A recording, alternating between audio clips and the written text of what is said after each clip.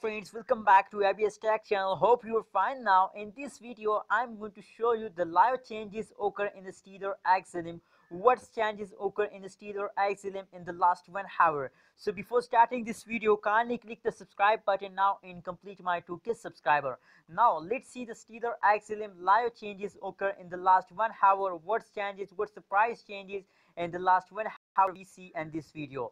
Now uh, first of all we look the chart of Stellar xlm so i'm sorry to say that but it's a funny period of Stellar xlm as you see on this period they are fast down fast down but currently they are very badly fast down as you can see here. If we see the chart analysis that at this period that is the high point of Stellar xlm in the last one hour. And now currently they are falling down. As you can see here they are falling down very badly very badly and very fastly falls down as you can see here now if we see the changes uh, of the xrp sorry Stellar xlm the changes of Stellar xlm as negative 0.3 percent occur in this last one hour as you can see here. It's a very bad news for all Stellar holder as you can see here.